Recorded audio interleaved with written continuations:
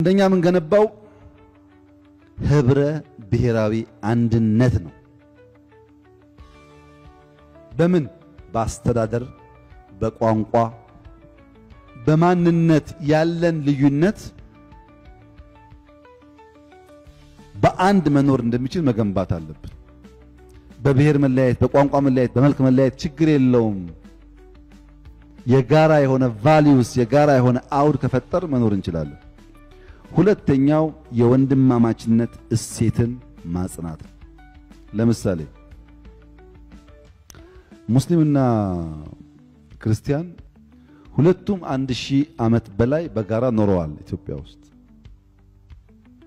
በጋራ የኖሩት ሙስሊም ቤተክርስቲያን እየሰራ ክርስቲያን መስጂድ እየሰራ አንዱ አንዱን እየቀበረ አንዱ አንዱን እየረዳ አንዱ አንዱን እያስተማረ ተጋግዘው የኖሩት መቼም ያ ወንድማማችነት ስለሚሻል ኖረን ስላየነው ቲዮሪ አይደለም ልምድ የኛ የግል ታሪካችን ስለሆነ እሱ እንዲጠናከር እንገነባለን።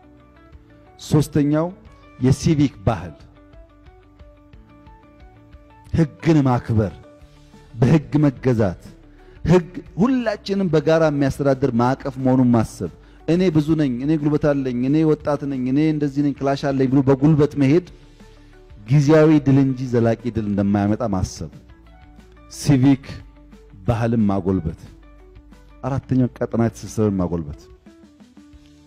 ከቀጠናው ጋር ተሳስሮ በጋራ መሄድን ማስፋት መገንባት ያስፈልጋል።